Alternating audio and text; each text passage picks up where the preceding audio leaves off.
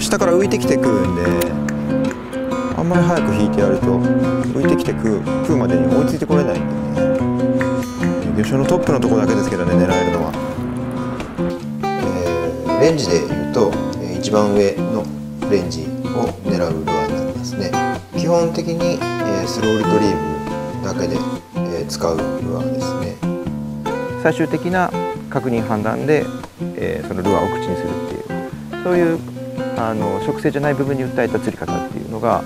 あのすごい効果的になってると思います。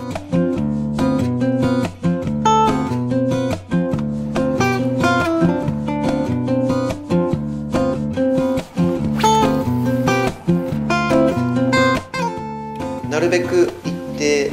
の期間を同じアクションを続けた方がバイトチャンスっていうのは増えるんですけども、えー、どうしても最初の起点が最初の着点しかないのでレンジが知らない間に変わってしまうっていうそういう部分で難しさがありますね。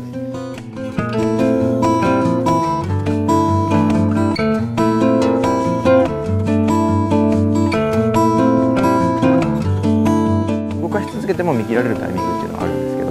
その見切られるタイミングの多くはそのある種の一定が崩れた時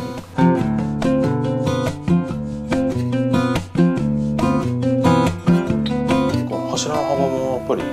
30センチ弱ぐらいあるんですかね。そうですね。まあブロックを入れてもある程度水通しをよくなるようなイメージですよねあんだけ穴があると。多分松もだと思うんで根を張らなくてもそのままここで生育してるとは思いますね。流れてきてここで生えてるっていうか成長してる感じでしょうね。根を張らずに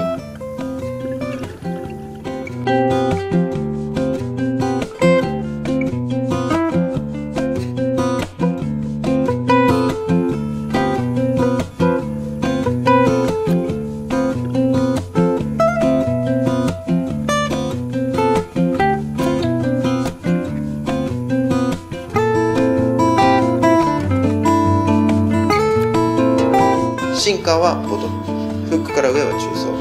っていうのをある一定期間ある一定のリズムでテンションをかけることによって、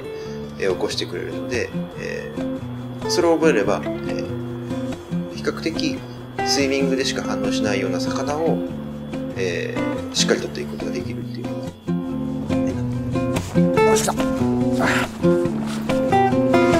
その起伏を差を立てて、え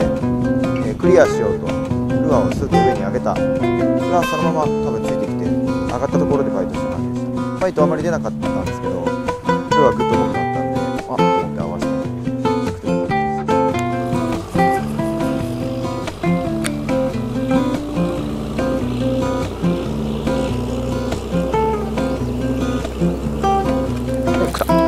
流し。てくる段階で狙ってた岩なんですけど